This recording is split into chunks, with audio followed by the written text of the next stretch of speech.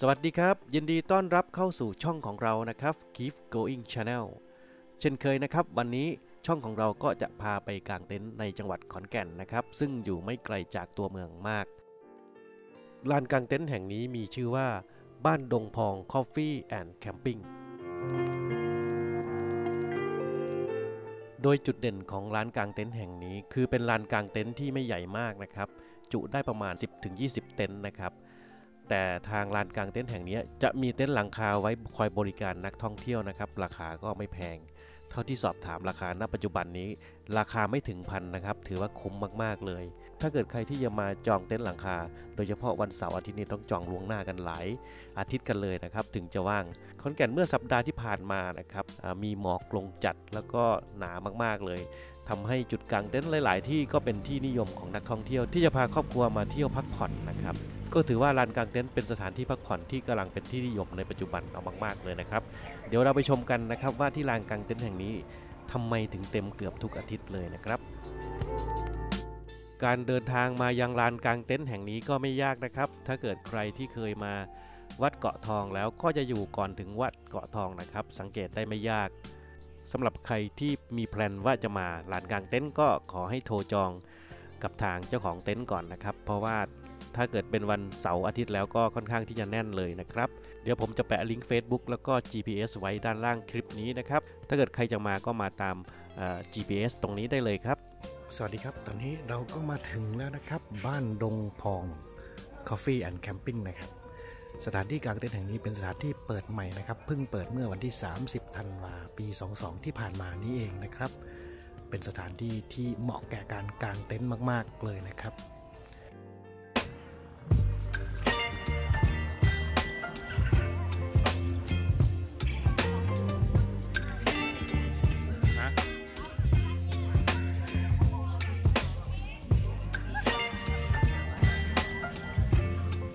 สถานที่แห่งนี้นอกจากจะเป็นลานกลางเต็นท์แล้วนะครับ ยังมีกาแฟที่รสชาติเยี่ยมมากๆเลยนะครับ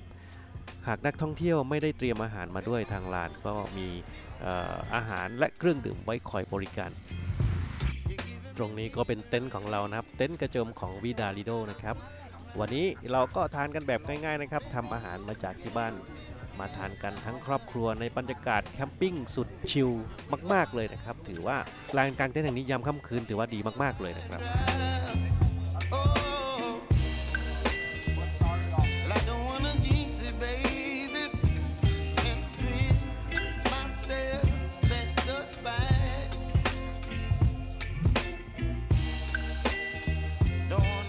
นี่คือบรรยากาศเวลากลางคืนของอลานกลางเต็นท์แห่งนี้นะครับ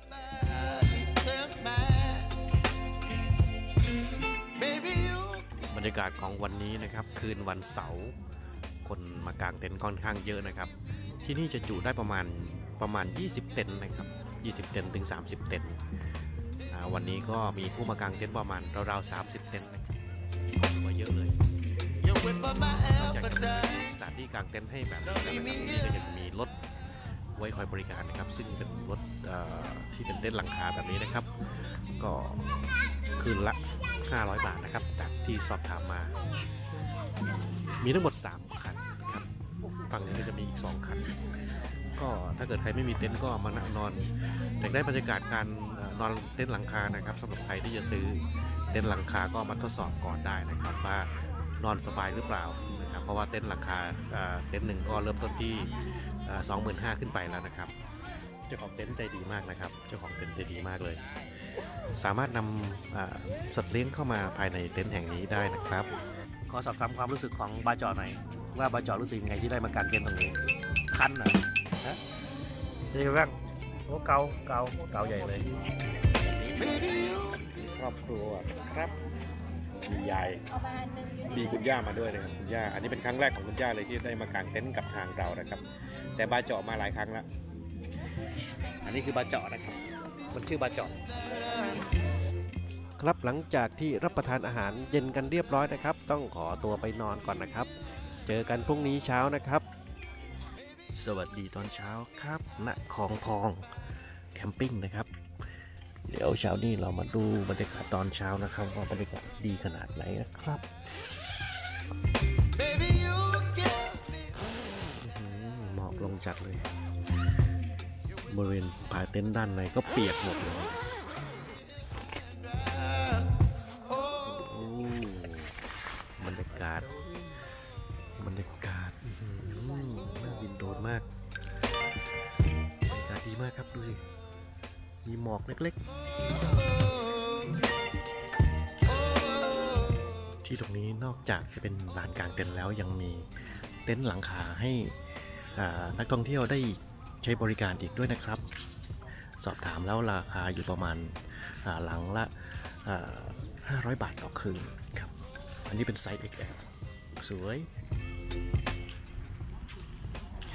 ดี๋ยวผมจะพาเดินชมบริเวณรอบๆ ของสถานที่กลางเต็นท์แห่งนี้นะครับ ซึ่งเป็นสถานที่เปิดใหม่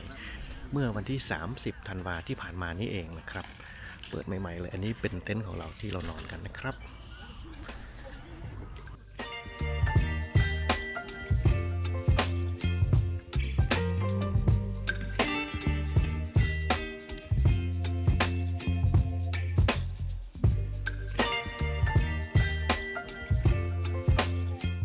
ริเวณเออห้องน้ำก็จะมีอยู่สองฝั่งนะครับ แยกชายแล้วก็หญิง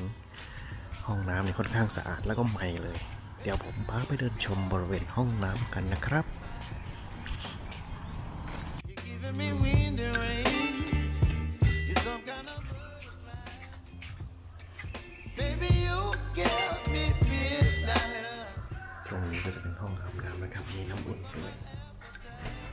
ก็ถือว่าเป็นร้านกลางเต็นท์ไฮเอ็นด์ของจังหวัดขอนแก่นเลยก็ว่าได้นะครับ ห้องน้ำใหม่แล้วก็สะอาดมากๆเลยนะครับส่วนบริเวณอาคารตรงนี้สอบถามจากทางเจ้าของร้านนะครับ จะย้ายร้านกาแฟมาที่ตรงนี้นะครับ ซึ่งจะใหญ่แล้วก็ค่อนข้างที่จะสะดวกจุลูกค้าได้มากขึ้นนะครับ อนาคตคงจะเสร็จอันใกล้นี้นะครับ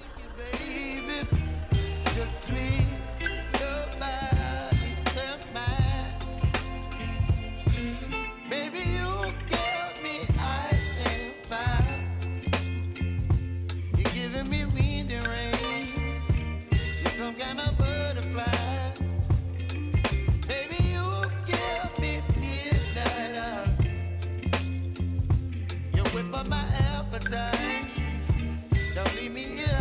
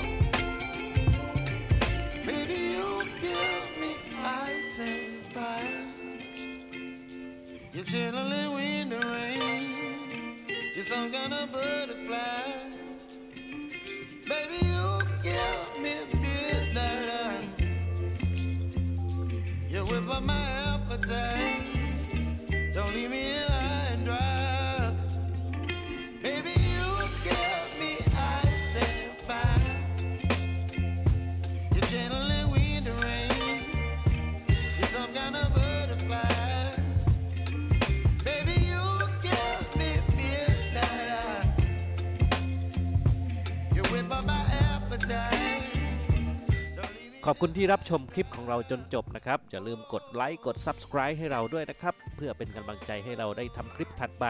ครั้งหน้ามารอชมนะครับว่าช่องของเราจะพาไปเที่ยวที่ไหนกันอีกนะครับ ขอบคุณครับ